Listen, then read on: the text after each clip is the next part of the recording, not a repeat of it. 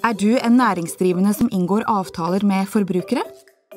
Da må du sørge for at avtalevilkårene dine er rimelige. Det betyr bl.a. at forbrukeren skal kunne forstå hva avtalen innebærer. Sett deg i forbrukerens sko, og se om du selv forstår hva avtalen betyr. Når du skriver, bør du unngå vanskelige ord og tungt juridisk språk. Avtalevilkårene skal heller ikke være unødvendig lange, sånn at ingen orker å lese dem.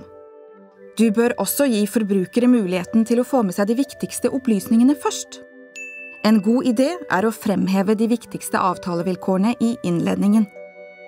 Vil du vite mer? Se forbrukertilsynet.no slash digitale vilkår.